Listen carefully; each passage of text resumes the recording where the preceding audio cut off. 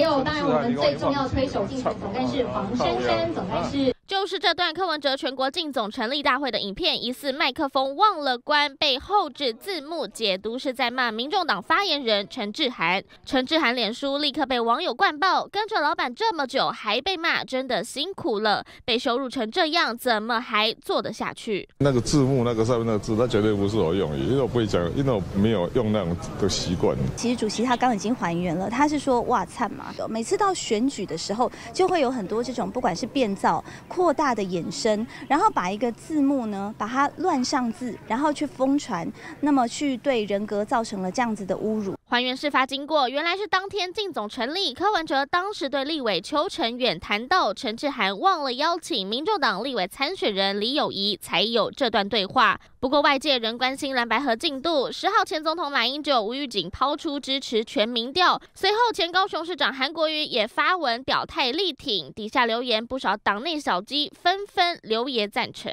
大家都可以去进行讨论，那一切在国民党两党。的协商过程当中，我们要给予更多的空间。希望透过这个机制，可以找出胜选几率最高的组合。我双方的幕僚应该会开始作业，应该还是就照马总统的呼吁去做是比较快的。